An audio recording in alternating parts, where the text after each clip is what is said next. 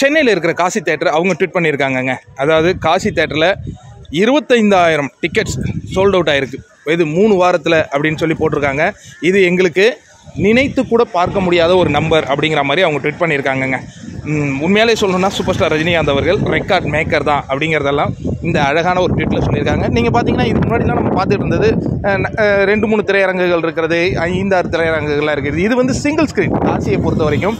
Single ஸ்க்ரீனில் தான் single ஸ்க்ரீனில் இருபத்தைந்தாயிரம் டிக்கெட்டுகள் விற்று தீர்ந்துருக்கு அப்படின்னா அது மூணே வாரத்தில் அப்படிங்கும்போது இந்த சாதனை வந்து எங்களால் பிரமிக்காமல் இருக்க முடியல அப்படின்னு காசி தேட்டர் சொல்லியிருக்காங்க. இந்த மாதிரி ஒவ்வொரு தேட்டருக்காரங்களும் அதாவது நான் பார்க்குறேன் இந்த ஃபேமஸான தேட்டர்ஸ் இருக்குல்ல அவங்களாம் கரெக்டான நம்பர்ஸ் கொடுத்துட்றாங்கங்க.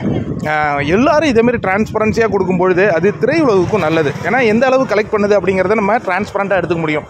மற்ற ஸ்டேட்லாம் அந்தளவு அக்யூரேட்டாக கொடுக்கும்பொழுது தமிழ்நாட்டில் மட்டும் அவ்வளோ கரெக்டாக வந்து சேரலையோ இப்போ பிஎன்சியில் வரலங்கிறாங்க. ஆனால் இன்றைக்கி எல்லா இடத்துலையும் ஆன்லைன் புக்கிங் தான் நடந்துகிட்டு இருக்கு இல்லையா? எல்லா இடத்துலையும் ஆன்லைன் புக்கிங் நடந்துகிட்டு இருக்கிறதுனால எல்லாருமே அது சொன்னால் நல்லாயிருக்கும். அப்படிங்கிறது என்னுடைய கருத்து. காசி தேட்ரு சாதனை எப்படி பார்க்குறீங்க?